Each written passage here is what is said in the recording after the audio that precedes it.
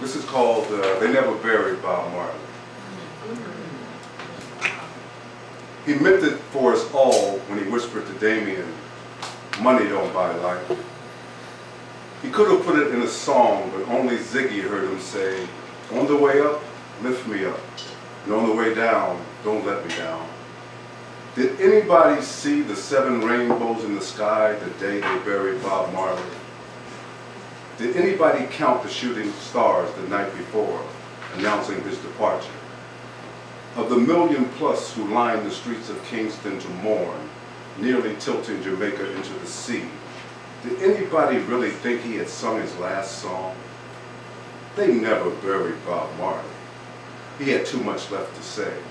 And those of us who were listening can still feel the hope of his redemption song, quietly boomboxing the world and rekindling our belief in the power of one love. So you see, even from the grave, as long as we have ears to hear and hearts that bleed, they can never really bury Bob Marley any more than they can bury the truth. It's like what happens every time you try to step on a light.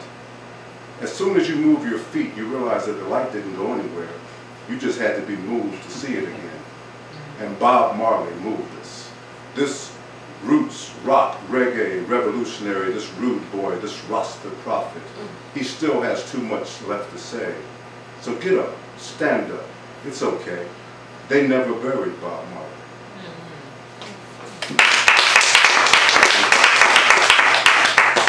Uh, this one I'm still trying to work on. It's kind of like what Adrian was saying the other, one of your pieces. You said it wakes you up and makes you finish it.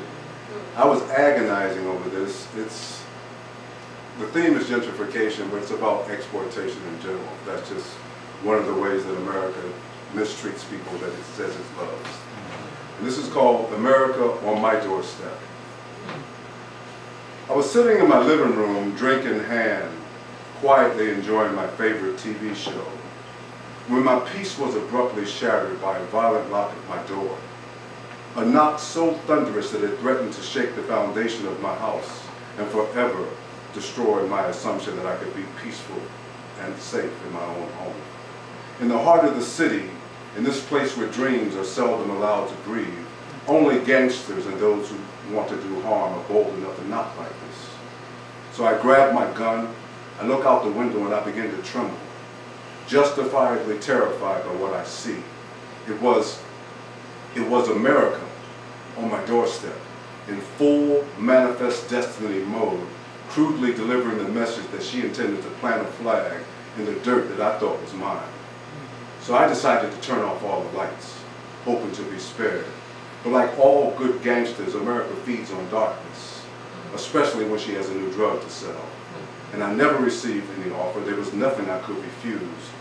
When I reluctantly opened the door, America snatched me by the collar and just shoved gentrification down my throat, forcing me to swallow it whole or risk choking to death if I resisted. And in the haze and the shell shock of this unwanted change, I recalled America famously once asking the world to give her her give her your tired and your poor. And between gags, I kept screaming like deaf ears, I am your tired and your poor. I'm already here. My family spent generations to finally own this home, and now suddenly I can't even have the right to live in it. I can't comprehend this homogenized urban utopia that America is fast peddling. I never received an invitation and obviously can't afford the price of admission. But I do know that in America, no matter who suffers, if it makes enough money, it never has to make any sense. Mm-hmm. So let this be a wake-up call for you as well, because money has no allegiances, everyone has a doorstep, and anyone can be gentrified. Thank you.